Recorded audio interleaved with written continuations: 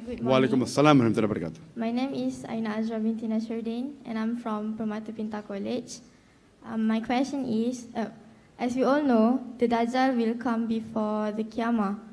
And my question, how and why the Dajjal gain the power to control the world, and why it is chosen? Thank Sorry, you. can you repeat the question? That What will come on Qiyamah? The Dajjal. Dajjal. Dajjal, yes. Dajjal will come on Qiyamah and and why, why Dajjal gain the power to control the world? why Dajjal has been given the power to control the world. What this is asked the question that there are various hadith talking about Dajjal, that before Qiyamah Dajjal will come, and why will Dajjal be given the power to control the world? In short, the answer is Almighty God wants to test us. You will ask me, why did God Almighty give power to the Satan? You know, the, the Satan is powerful, nothing compared to Allah.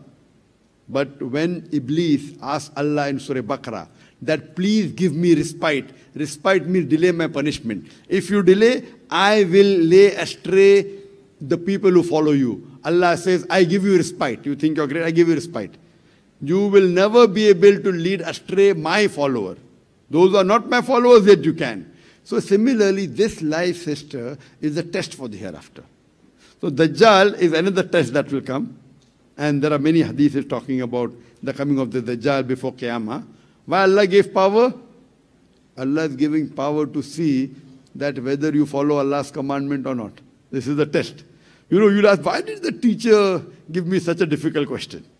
Difficult question, more difficult the question, and if you answer, the higher is the reward. So here, Allah wants to test who is going to follow me or not. So the power is given to the enemy many times to test you. And more powerful the enemy, the more difficult the test. For example, if you appear for a normal graduation of BA Arts and you pass, you become a graduate. But when you pass a medical examination, you get doctor, DR in front of your name.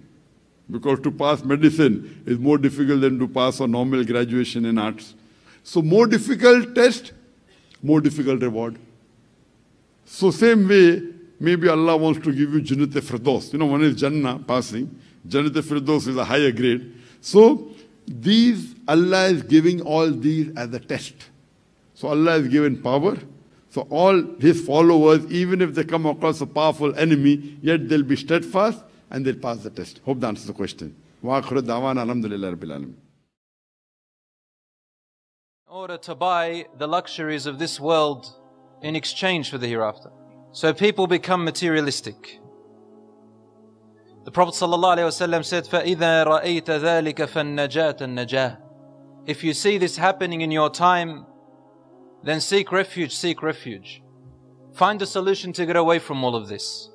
It's not an easy solution, but you need to stay away from all this. In one other hadith, a man said, Ya Rasulullah, what is seeking refuge? How do I seek protection? What do you mean by that? And Rasul ﷺ gave an expression like this. He said, By adhering to your house and keeping your mouth shut and hold your tongue and hand from doing unlawful until death comes to you. There's going to come a time even worse than this one, brothers and sisters.